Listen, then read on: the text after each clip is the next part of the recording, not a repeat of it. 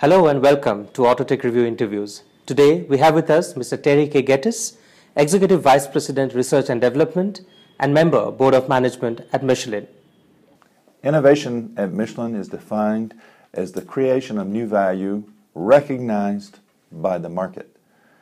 That distinguishes it from an invention or a neat technology in a technology center that uh, doesn't really impact the world.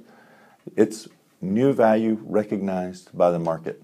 So it has an impact on creating value for our customers and it has an impact on our business. In fact, innovation has been a major growth driver for our company throughout its 128 year history.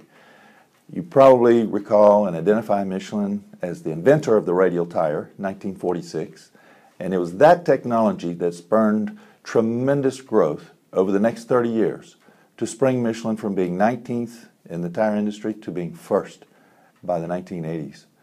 Today, we also count on innovation as a growth driver, not only in the core segment of providing the best tires for our customers' needs, but also driving our company strategy in additional domains of activity.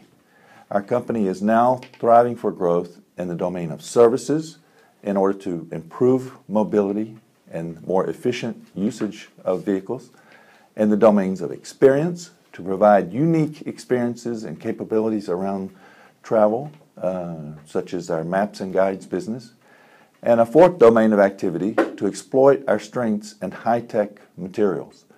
This is a, an offshoot of the strengths that we've demonstrated in the domain of tires to create businesses around key technologies that result from our core research.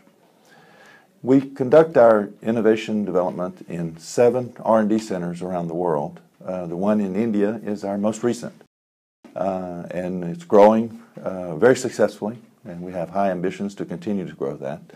Uh, each one has a different role in our company, uh, contributing different key competencies, and uh, we operate as a, as a network with about 6,000 total employees worldwide contributing to our R&D effort.